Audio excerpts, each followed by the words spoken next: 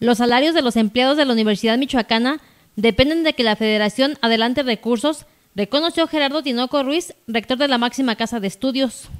Ya mandamos alguna solicitud de, por lo pronto, de eh, a, a, que nos adelanten subsidio en la federación. La petición para los siguientes dos meses de adelanto es eh, cerca de 600 millones. ¿Y con ello qué se estaría cubriendo?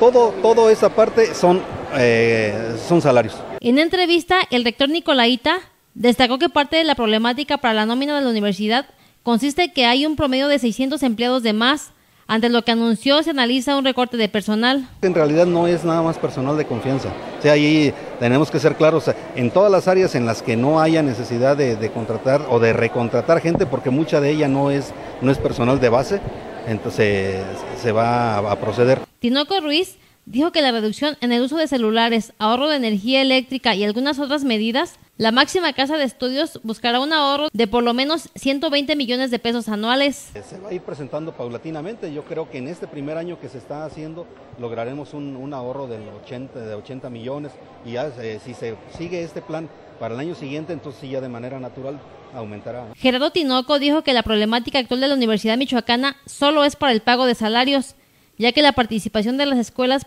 para ahorrar al máximo ha permitido asegurar los gastos de operación. Para Cuasar TV, Sandra Sáenz.